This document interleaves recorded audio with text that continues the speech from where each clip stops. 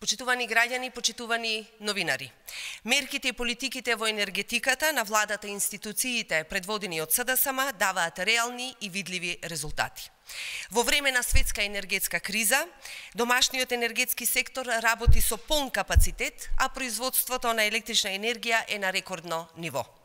Во јануари годинава 87% од потребите за електрична енергија во државата се обезбедени од домашни капацитети, додека само 13% е увезена и тоа за сите потрошувачи, а не само за домаќинствата и малите потрошувачи.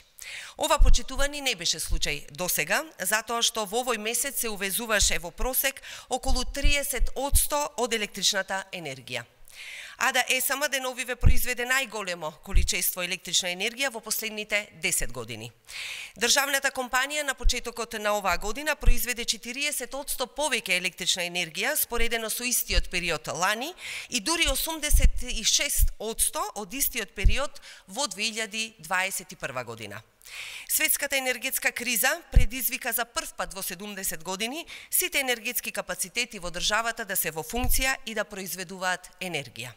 Трите блока на Рек Битола, Рек Осломе, Тец Неготино, со двата котли, електраните на газ во Скопје, како и сите агрегати на хидроелектраните во државна собственост, се во функција да произведуваат енергија. Тоа придонесе цената на струјата да не се зголемува.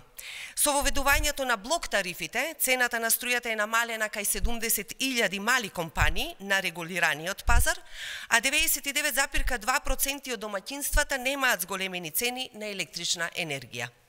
Сада сама почитувани, како одговорна партија продолжува со мерките и политиките, што го зајакнуваат енергетскиот капацитет, ја зголемуваат енергетската независност на државата и обезбедуваат пониски трошоци за електрична енергија. Ви благодарам.